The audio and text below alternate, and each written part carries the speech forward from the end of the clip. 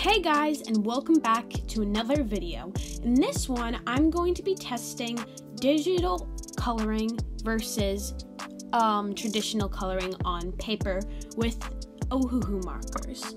So right now, um, this is me making just a sketch for the drawing that I'm going to color digitally on one side and on paper with the other side.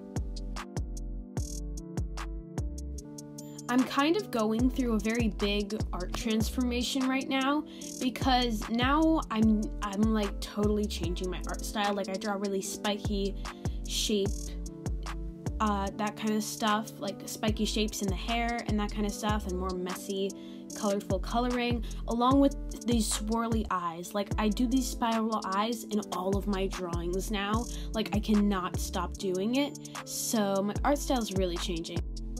You might be noticing how the top of the drawing was cut off, and that's because when I was printing it, it like got totally cut off, which I don't really know why it did that, but it happened.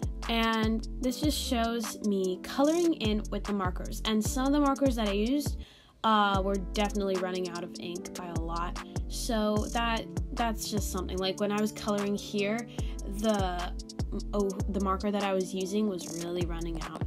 But anyway, here is the finished product, and I hope you like the video.